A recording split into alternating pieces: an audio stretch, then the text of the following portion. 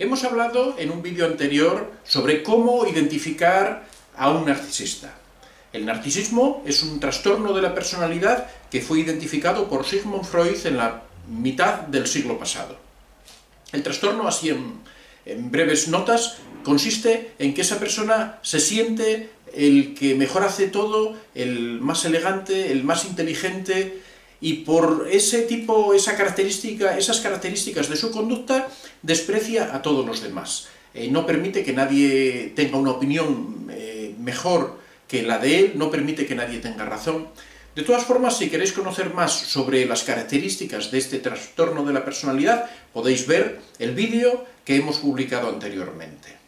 Hoy vamos a tratar de cómo convivir o de cómo enfrentar a las personas narcisistas. Vamos a dar unos consejos de cómo hacerles frente o al menos cómo poder soportar la convivencia con estas personas. Así que vamos a ello.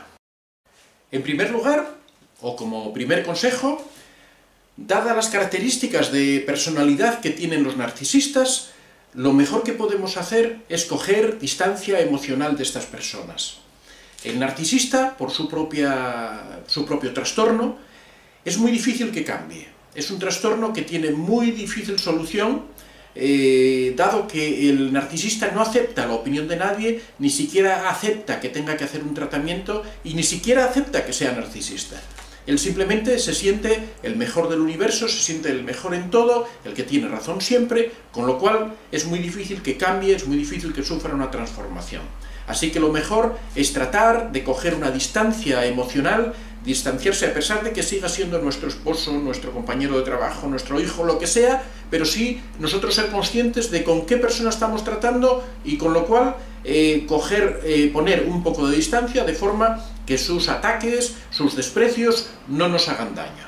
En segundo lugar, dado que el narcisista es una persona que solo piensa en sí mismo, es una persona que solo tiene en cuenta sus propias opiniones, sus propios sentimientos y no le importan para nada ni las opiniones, ni los sentimientos, ni las ideas de los demás, no hemos de tomarlos como un referente sentimental. No hemos de ir a contarles nuestras penas, no hemos de hablarle de nuestros problemas, porque cada vez que lo hagamos vamos a sufrir eh, un desprecio, vamos a sufrir eh, eh, malas palabras, acusaciones, con lo cual es mejor tratar de evitarlos, tratar de evitar una relación emocional con ellos. Hay que, uniéndolo con el punto anterior, hay que coger una distancia, pero a su vez nosotros hemos de hacernos más reservados. No ir hacia ellos, sino buscar otra persona con la que poder contar nuestras penas. Todos necesitamos relacionarnos emocionalmente, elijamos a otra persona, ya sea otro hijo, eh, un cuñado, un, cualquier otro familiar, cualquier otro amigo, para contarle nuestras penas, pero no lo hagamos con el, con el narcisista, porque siempre vamos a salir heridos y siempre vamos a salir lastimados. En tercer lugar, si quieres eh, convivir con un narcisista sin tener graves problemas, sin tener eh, conflictos permanentes, una medida que puedes tomar es darle de vez en cuando la razón como se suele decir, eh, ir llevándolo en su narcisismo, que él se sienta, que él se sienta eh, que, le damos la razón, que se, porque de esa forma se va a relajar y no va a ser tan agresivo, no va a ser una persona tan complicada y tan difícil de llevar.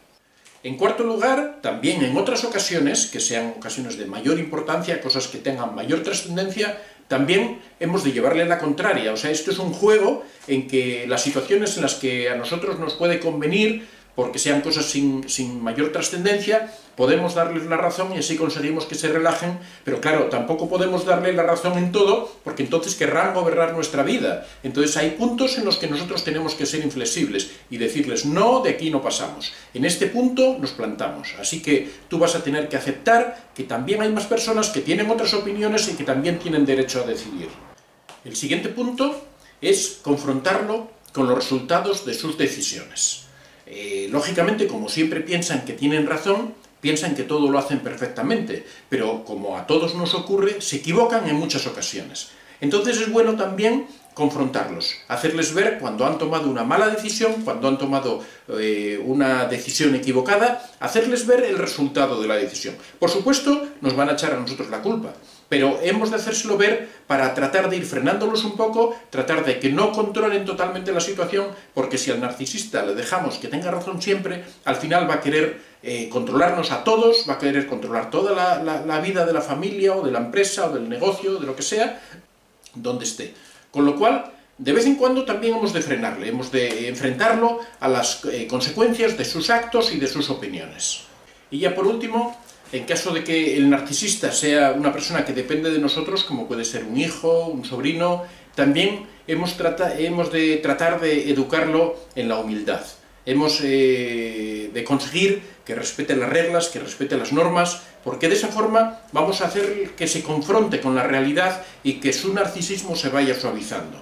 No va a desaparecer, por supuesto, pero sí podemos conseguir que se suavice y que no sea una situación tan tensa y tan difícil de llevar para todos.